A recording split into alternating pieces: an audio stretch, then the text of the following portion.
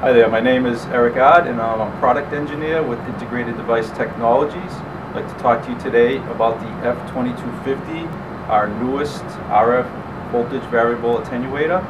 Uh, this, this device comes in a 3x3 16-pin TQFN package, so it's a very small footprint. Uh, it's designed to operate from 50 megahertz to 6 gigahertz, so very broad frequency range and you can use a power supply anywhere from 3.15 volts to 5.25 volts so very versatile.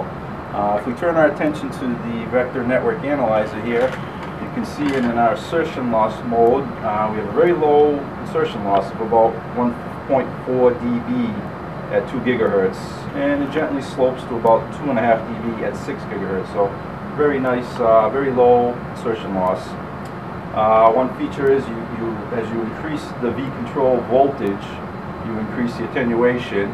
Uh, so that's what I'm going to do right here. We're at zero volts right now, in insertion loss mode. As I increase that to about 2.8 volts, we get max attenuation, which in this case is reading 35.4 dB. So you have a whole attenuation range of about 34 dB. So very broad uh, attenuation range as well. Uh, another key feature of this pot is a V-mode pin, which will give you access to on, uh, on the EV-Kit PC board here. If you put the V-mode pin high as opposed to low, the V-control now works in the opposite direction. So V-control of 0 volts now has max attenuation. And again, if I bring that up to 2.8 volts, we are now in the insertion loss state. So this pot also gives you a lot of versatility on both your input power supply and on which direction you want the attenuation slope to go in.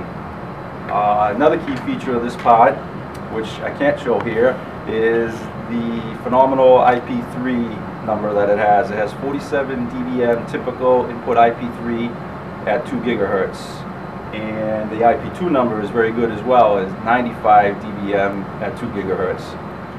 So in summary, the F2250 comes a very small package, very versatile to use, uh, broad frequency range, broad attenuation range, and very, very good input IP3 and input IP2 numbers. Thank you.